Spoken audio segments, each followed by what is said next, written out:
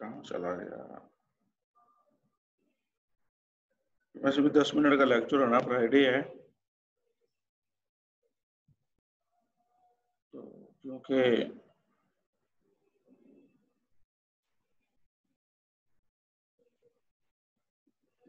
आपका लेक्चर तीस मिनट का होता है। आठ मिनट रह गए बाकी।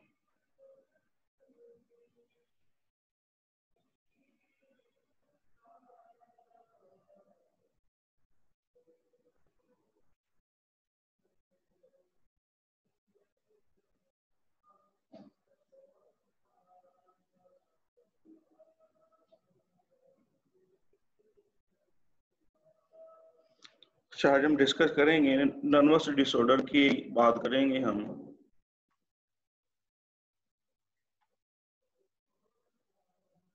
वैसे तो ओवरऑल जो न्यूरॉन्स की प्रॉब्लम्स है, आपके सिलेबस में कुछ नहीं की गई। Problems regarding the nervous system यहाँ पे सिर्फ़ तीन बीमारियों का ज़िक्र किया गया है, जिनमें से इंसानों में पाई जाने वाली फ़र्स्ट डिज़ीज़ है, उसे हम कहते हैं पार्किंसन डिज़ीज़ पार्किंसन डिज़ीज़ जो है पाकिस्तान में भी एग्जिस्ट करती है, ये इतनी बड़ा ज़्यादा नहीं है, ये जो पचास साठ साल की उम्र के लोग होते हैं, ये उन लोगों में देखने को मिलती है। अच्छा अब इसकी क्या, इसकी इलामात क्या होती हैं इस बीमारी की कि? जिसकी वजह से हम ये पहचान सकेंगे कि ये जो फलाना आदमी है कि ये पार्किंसन डिज़ीज़ का पेशेंट है। तो इसकी इलामात ये है कि ऐसे इंसान में ये वो ना जिस तरह हाथ पाँव हिलते रहती हैं या आहिस्ता आहिस्ता जिस तरह बुज़ुर्गों की उतना हाथ पाँव रशा कहते हैं उसे शायद। इनवॉल्ट्री ट्रेमर्स हम इसके लिए कह सकते हैं कि ऑटोमेटिकली खुद ब खुद जो इंसान के इख्तियार में नहीं होते इनवॉलेंट्री वो खुद ब खुद उसके हाथों मिलते रहते हैं उसके। इनवॉलेंट्री ट्रेमर्स उसके अलावा उनकी जो मोटर पावर है और रिजिडिटी है, वो खत्म हो जाती है। मोटर पावर मतलब जो हाथों को हरकत करने की, जिसम को मेंटेन करने की सलाहियत है, वो कम हो जाती है। उसके अलावा इनकी जो सोचने, समझने की सलाहियत है, वो मुतासर नहीं होती। वो दिमाग इनका बिल्कुल ठीक काम करता है। अच्छा ये क्यों होती है? इसकी वजह ये है कि ये बिलीव किया जाता है कि ब्रेन के अंदर कुछ न्यूरॉन होते हैं, कुछ ऐसे सेल्स होते हैं जो कि डोपामीन प्रोड्यूस करते हैं।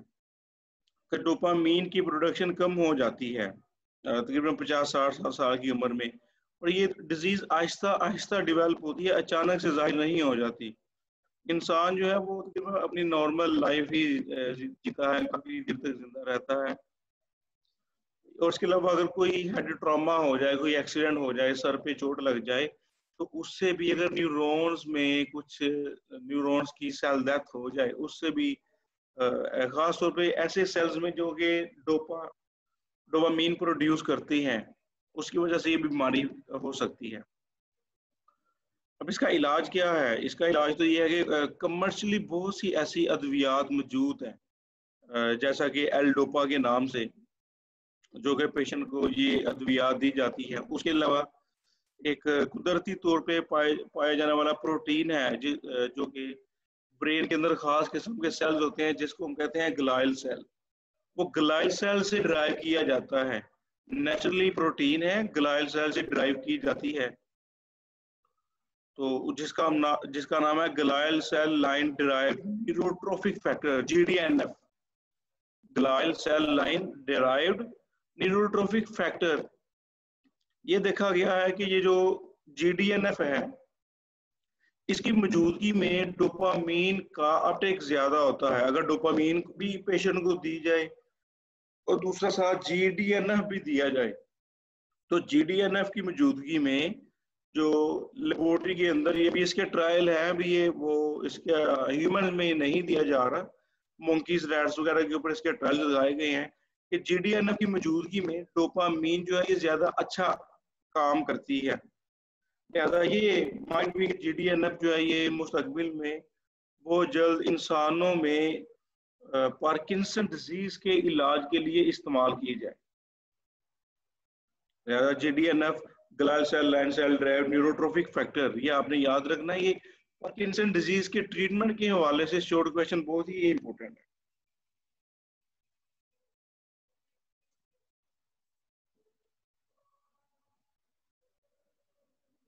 सेकंड डिज़ीज़ जो है, इस कैटेगरी में आती है, वो है एपिलेप्सी आम ज़ुबान में जिसको मिर्गी कहा जाता है।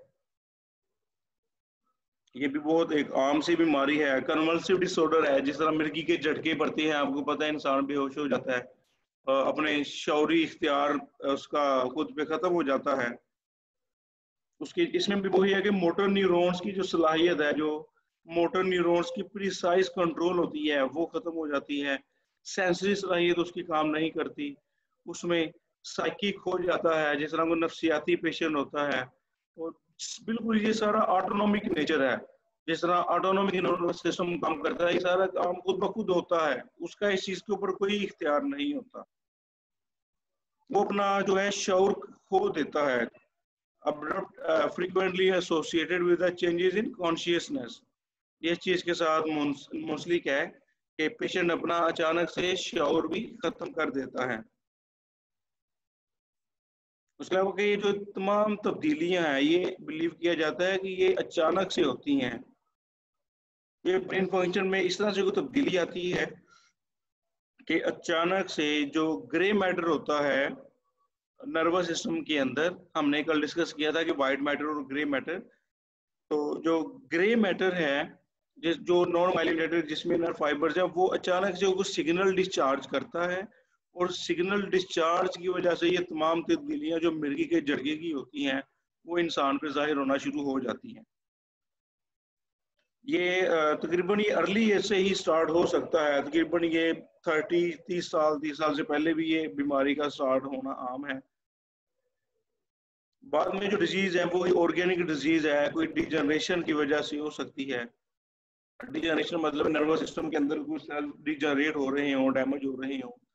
कुछ मरीजों के अंदर मिर्गी का जो है ये इमोशनल डिस्टर्बेंस की वजह से भी हो सकती है कि उनमें जज्बात का जो उतार चढ़ाव हो सकता है, उनके एहसास जो है वो कम ज़्यादा हो सकते हैं। तो उनके एहसास में डिस्टर्बेंस की वजह से ये एक ट्रिगर का रोल प्ले करती है, ये उनकी मिर्गी को एक्टिवेट कर देती है। अच्छा इसके लिए एक खास टेस्ट किया जाता है इलेक्ट्रो इलेक्ट्रोएनसेफेलोग्राफी इलेक्ट्रोएनसेफेलोग्राफी वो खास रेडिएशन की मदद से ब्रेन का स्कैन किया जाता है। तो ब्रेन का स्कैन करके भी एपिलेप्सी के पेशेंट को आइडेंटिफाई किया जा सकता है। इलेक्ट्रोएनसेफेलोग्राफी हम उसको कहते हैं। ऐसे पेशेंट के लिए इलाज के तौर पे anti anti convulsion drugs use होती हैं, ये अद्वियात, जो कि मिर्गी के दौरे को कम करती हैं। जो कन्वर्शन हैं, जो उसको दौरे पड़ती हैं, उन दौरों को कम करने के लिए एंटी कन्वर्शन ड्रग्स इस्तेमाल की जाती हैं। और अगर वो पेशेंट अल्कोहल कंज्यूमर है तो अल्कोहल एपिलेप्सी के जो इसका जो इलामत है, उसको एग्रीवेट्स करती हैं। अल्कोहल एपिलेप्सी को बढ़ा देती हैं। लिहाजा ऐसे पेशेंट जो कि मिर्गी का शिकार हों तो उनको अल्कोहल से अवॉइड करना चाहिए। हमारे यहाँ भी कुछ लोग, आपको पता है जो नॉन मुस्लिम कम्युनिटी में है, वो कुछ अल्कोहल का यूज़ करते हैं। ये उनके लिए बात है पर गैर इन अदर कंट्रीज़ जो कि यहाँ पे अल्कोहल का इस्तेमाल ज़्यादा होता है, ये उनके हवाले से बात की गई है। पाकिस्तान में बहरहाल अल्कोहल की इतनी ज़्यादा प्रैक्टिस नहीं है। Last and third one disease is about the Alzheimer disease Alzheimer disease जो है इसको सबसे पहले एक साइंटिस्ट जो थे अल्जीमर, उन्होंने 1907 में इसको डिस्कवर किया था। इसको किस तरह से आइडेंटिफाई किया जाता है? इसको इसी बात पे आइडेंटिफाई किया जाता है कि जो ब्रेन फ़ंक्शन है, वो कम हो जाते हैं वक्त के साथ साथ और इसकी जो इलामात हैं, वो डिमेंशिया से मिलती जुलती हैं। डिमेंशिया कहते हैं मेमोरी लॉस को, कि इंसान अपना हाफजा खो दे। अपना हाफजा अपनी याददाश्त खो दे तो इससे मिलती जुलती इसकी इलामात है। डिमेंशिया से काफ़ी सिमिलर है। लिहाजा कुछ कुछ लोगों में इस बीमारी का जो ताल्लुक है, वो जेनेटिक कॉज भी हो सकता है। यानी कि जेनेटिकली कोई डिफेक्ट भी हो सकता है।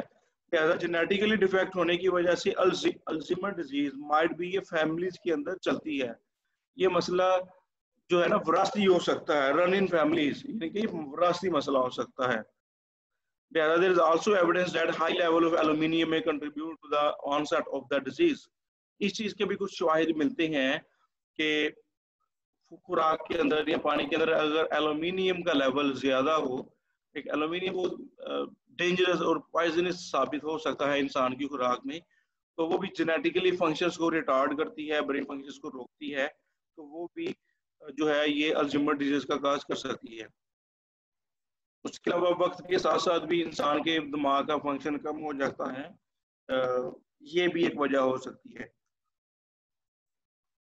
ये जो डिज़ीज़ अच्छा एक एक इसमें छोटा सा शॉर्ट क्वेश्चन दिया गया था। What are the effects of medicine on coordination brain के कोऑर्डिनेशन में मेडिसिन का क्या इफ़ेक्ट होता है? निकोटीन नींद आवर है जो कि सीडेटिव है, एक ऐसा केमिकल सीडेटिव है, उसके एक्शन की अगर हम बात करें ज़्यादा मेडिसिन का ज़िक्र नहीं किया गया यहाँ पे।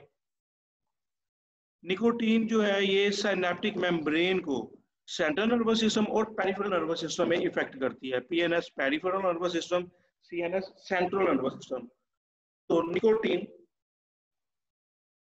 ये जो है एसिटाइल कोलिन का फ़ंक्शन कम कर देती है निकोटीन रिसेप्टर्स पर।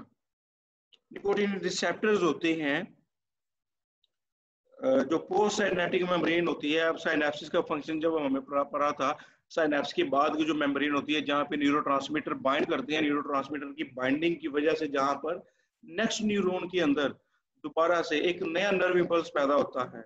लिहाजा जब ये निकोटीन बाइंड करेगी तो ये बॉडी के अंदर नर्व इम्पल्स की मूवमेंट को रोक देगी। नर्व इम्पल्स के फ़ंक्शन को रिटार्ड करेगी।